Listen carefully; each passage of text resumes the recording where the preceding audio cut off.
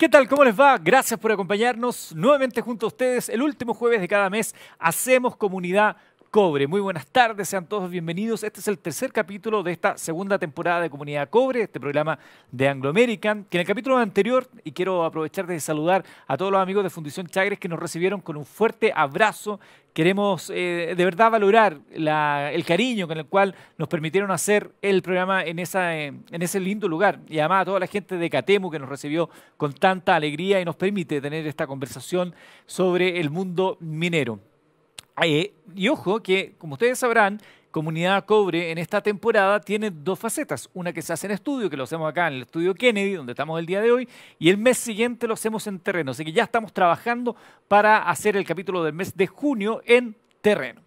Por lo pronto nos convoca estar aquí en vivo en directo, como les decía, en Estudio Kennedy, saludando también a quienes se unen a través de las plataformas de Anglo American CL, también saludando a quienes se unen a través de eh, BioBio Chile y también de TXS Plus, la primera y única radio de ciencia, innovación y tecnología del continente. A las 18 horas tenemos la cita y usted también tiene un rol fundamental que jugar. ¿Por qué? Porque tenemos el muro de la gente. ¿Y qué es el muro de la gente? Es un espacio donde usted tiene la palabra. Puede mandar sus eh, preguntas, eh, sus eh, inquietudes y en la parte final del programa las vamos a estar respondiendo junto a ejecutivos de Anglo America. Hoy vamos a hablar de un tema fabuloso, como veíamos en la presentación, Em, la generación de capital humano para hacerse cargo de la industria minera hoy y al futuro. El futuro no se forja solo, se está trabajando día a día. Hoy cientos de jóvenes están en universidades, en institutos, en capacitación continua, algunos incluso a través de em, educación a distancia, formándose para ser los próximos profesionales de la industria minera. Y ese mundo de la minería que hoy también está en un compás de espera, y lo vamos a conversar junto a Joaquín Villarino, por lo que está ocurriendo en la conversación constituyente, es parte de las inquietudes que nos mueven el día de hoy. Cientos de estudiantes que por estos días se preparan para ser los profesionales que van a liderar la minería en unos próximos años. Y como queremos hablar de eso, como queremos hablar de empleo, queremos hablar del futuro de la minería, de la educación, nos dijimos todos en el comité creativo, ¿y por qué nos vamos a las eh, aulas? ¿Por qué no vamos a las universidades a ver cómo se está viviendo justamente eso?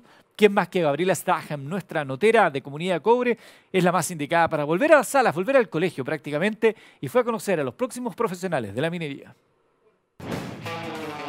Desde Rancagua nos trasladamos a la comuna de Las Condes. Estamos en un laboratorio especial, en Realitex, para conocer realidad virtual. Estoy junto a Daniela Sangüesa para que nos cuente también, estudiante de cuarto año de la Universidad del Desarrollo, para que nos cuente cuál es importante es el día de hoy poder contar con este tipo de tecnología. La realidad virtual ha permitido a los alumnos entender de manera mucho más fácil los conceptos de la minería.